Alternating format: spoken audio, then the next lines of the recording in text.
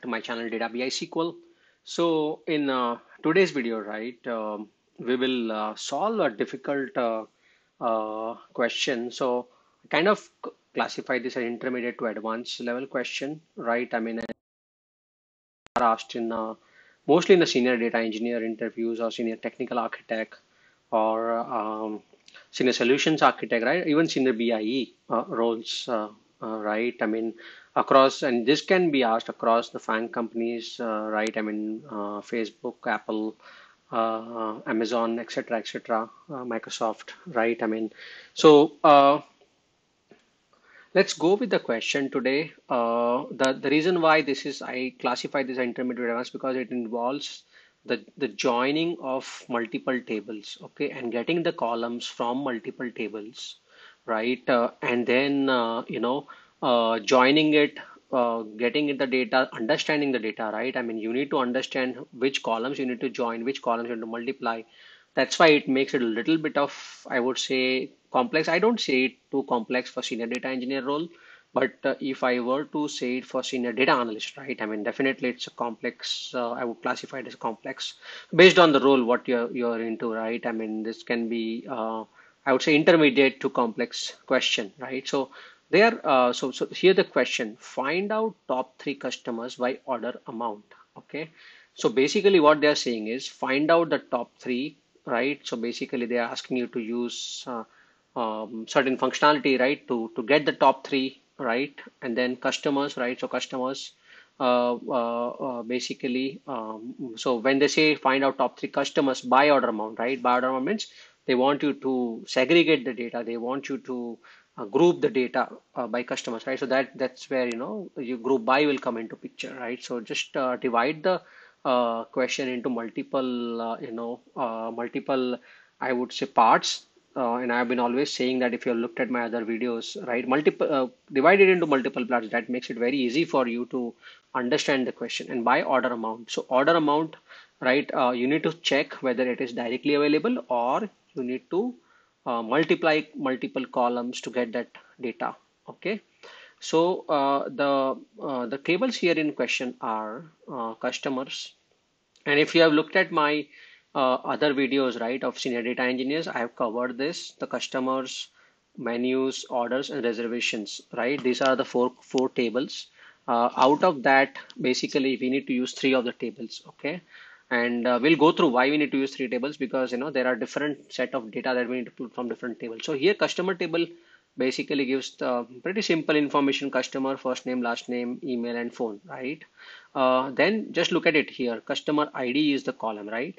So if you were to uh, find out what orders customer placed right can you do it? Yes you can do it because customer id is present. So you can join through customer id right and order id so order ID and then it has menu ID, right? And quantity. So it has a quantity. So what they have asked order amount. Uh, will quantity give you the order amount they're asking for? No, right? Only quantity is not enough, uh, uh, right? How much you paid for that particular menu, right? Is also matters, right? So basically, so how we will get that uh, in orders table? There is order ID, right? Uh, customer ID and menu ID, right? So menu ID, see here, menu ID is there so let's see in menu table what is there, right? Out of this three ID, there should be some something in the menu table. So menu ID is there, right? So you can join menu ID, okay, in a menu table with a orders table, okay. Now here, do you have order amount? No, you have a price for the menu item, but can you get an order amount? Yes. How can you get an order amount? Price multiplied by the quantity, right? So if you order a garlic bread quantity 2, right, then that means 599 into 2 is like uh, 1198 right? So that's how you can get an order amount.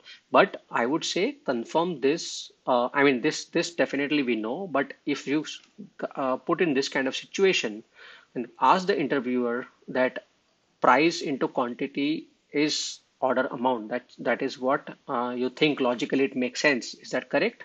You can ask that question okay? Don't be shy. Ask ask that question to clarify. Interviewers like clarifying okay? Like you know just don't be afraid. Uh, just don't think that you know what interview will think it's not going to happen like that like they don't think like that i have conducted so many interviews uh, you know i really like asking the interviewee questions about uh, you know uh, the the the problem we are asking them to solve Okay. So basically here, what we need to do, we need to bring in, we need to join three tables, right? Then what we need to do, we need to bring in the customer data, which is basically first name and last name. And then we need to do order amount by multiplying price and quantity. Okay. And we need to sum it up. Okay. Why we need to sum it up? Because one customer can always order multiple things, right? And here they're asking you to segregate the data by customer, right? So let's just get started. So select from, let's just jot down this tables. Okay. So customers. So let's just do alias, right? O. Okay. Then you have orders, right? Uh, let's just say customers, we can say C. Orders we can say O. And menus we can say M. Okay? And then what we saw is in customers table we, we found first name and last name right so let's say C dot first name C dot last name right correct and then how do we join this table? Where C dot customer ID is equal to which where we saw the customer ID? We saw customer ID in orders table, correct? O dot customer ID and so this has a menu ID, right? So then O dot menu id is equal to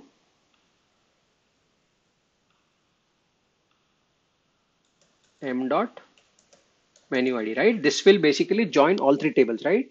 Customer to order table and order to menu table. That's how it's going to bridge the gap right? It's going to join all three tables together right? So now we need to find out final order right? So we have see uh, we need to do sum right? Now we have m uh, m dot price correct? And we need to multiply price by quantity correct? Quantity was there in a i think in a order table right? If i'm not mistaken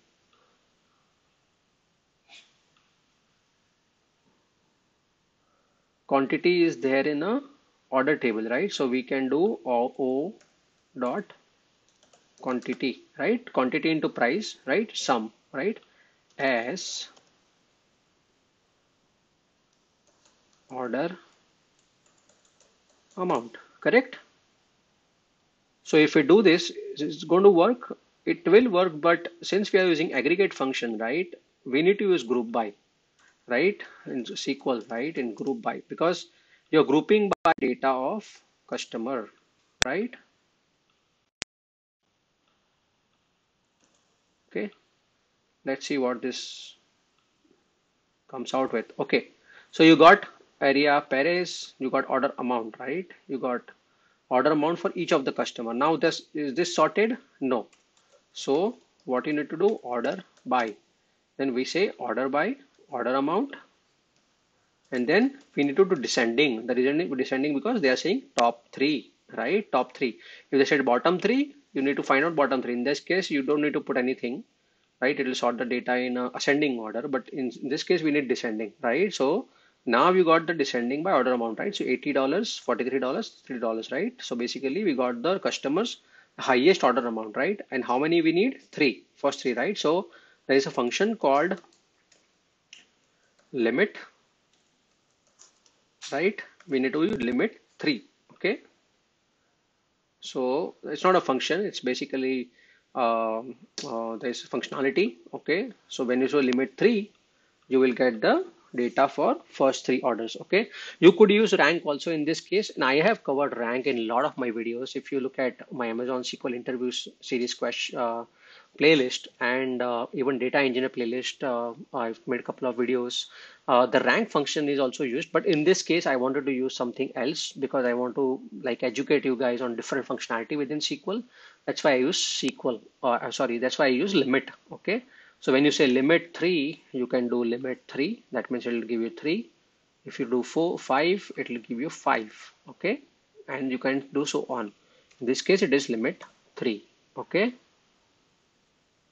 Right. So here we got I answer, right? So what we did is basically we brought, we joined three tables.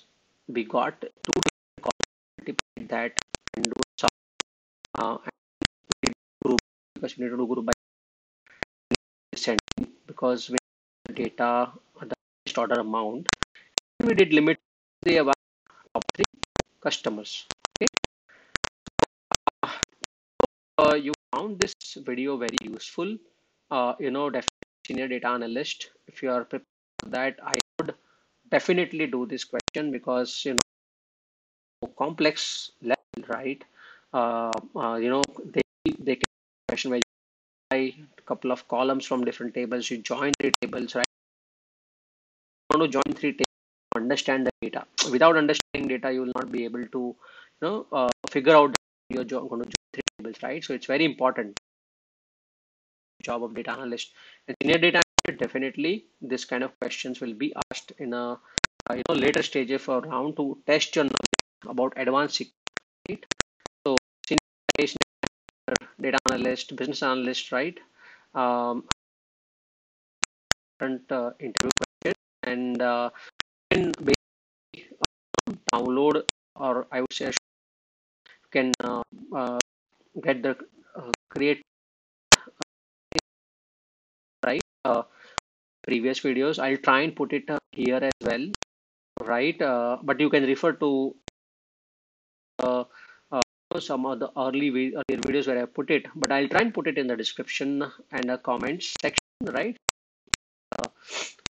complete scripts as well you know data. So basically once you run those scripts I'm you can create the directly and insert the data into the table. You can play around with, with the query okay.